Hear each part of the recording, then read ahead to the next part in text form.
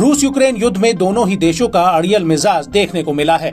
पश्चिमी देशों के दम पर लड़ रहा यूक्रेन ना तो खुद हार मान रहा है, न ही रूस जैसा ताकतवर देश छोटे से यूक्रेन पर जीत दर्ज कर पा रहा है। ऐसे में दोनों ही देशों की सेनाओं और उनकी जनता को सबसे ज़्यादा इस युद्ध का दंश झेलना पड़ रहा है। रूसी हमलों से त्रस्त यूक्रेन ने अब भीषण पलटवार करना शुरू कर दिया है। अमेरिका से मिली खतरनाक मिसाइलों के बूते यूक्रेन ने एक बार फिर रूस पर हावी होने की मंशा जताई है। यूक्रेन ने बीते 23 जून को रूस के कब्जे वाले क्राइमिया के शहर पर अमेरिका की आर्मी टैक्टिकल मिसाइल सिस्टम से हवाई बौछार की, जिससे रूस तक में खलबली मच गई। बताया जाता है कि पाँच मिसाइलों में से चार को रूस के एयर डिफेंस सिस्टम ने हवा में ही नेस्तो नाबूद कर दिया। मगर पांचवी मिसाइल ने समुद्र किनारे छुट्टी मना रहे लोगों के साथ खूनी खेल खेला।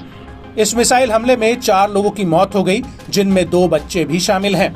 तो वहीं डेढ़ सौ से ज़्यादा लोग इस हमले में बुरी तरह से घायल हो गए।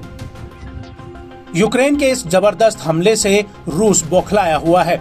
रूस ने यूक्रेन को जल्द इस हमले का जवाब देने की कसम खाई है। रूस ने इस हमले के पीछे अमेरिका का हाथ बताते हुए दोषी करार दिया है।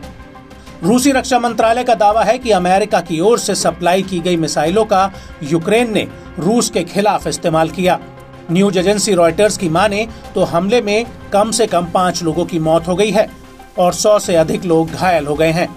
वहीं इस हमले से भड़के पूर्व रूसी राष्ट्रपति दिमित्री मेदवेदेव ने चेताया कि यूक्रेन की ओर से क्राइमिया के शहर पर मिसाइल हमले के बाद अमेरिका भीषण आग में जल जाएगा। अमेरिका यूक्रेन को मिसाइलों की सप्लाई करता है और रूस पर हमला करने में यूक्रेन की मदद करता है। अमेरिका की हर साजिश का पर्दाफाश हो गया है। अमेरिका और यूक्रेन दोनों देश नरक में जलेंगे।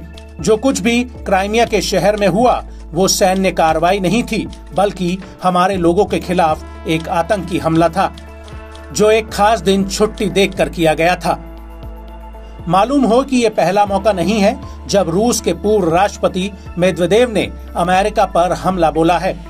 इससे पहले उन्होंने अमेरिका को हिलाने के लिए कहा था। दरअसल रूस ने अपनी परमाणु मारक क्षमता को सीमित करने की बातचीत को खारिज किया था। जब तक अमेरिका यूक्रेन के लिए सहायता वापस नहीं लेता, तब तक परमाणु हथियार और इंटरकॉन्टिनेंटल बैलिस्टिक मिसाइलों की संख्या में कोई सीमा नहीं हो सकती। ऐसा दावा है कि यूक्रेन के हमले के बाद से रूसी राष्ट्रपति पुतिन सेना के साथ लगातार संपर्क में हैं।